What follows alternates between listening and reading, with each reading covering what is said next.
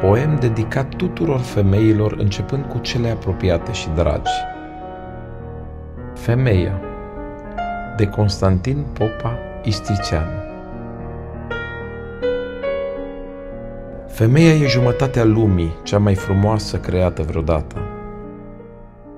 Ea a luat miezul cel bun din taina humii și l-a dat în grijă la prima ei fată.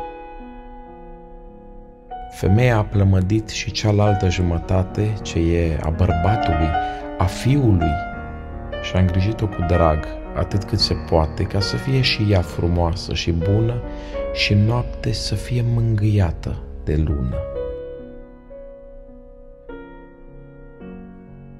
Taina cea mare a venirii a fost prin cheia iubirii, făcută din o simplă coastă, nici mică, nici prea vastă, potrivită din cer într-o zi cu mister.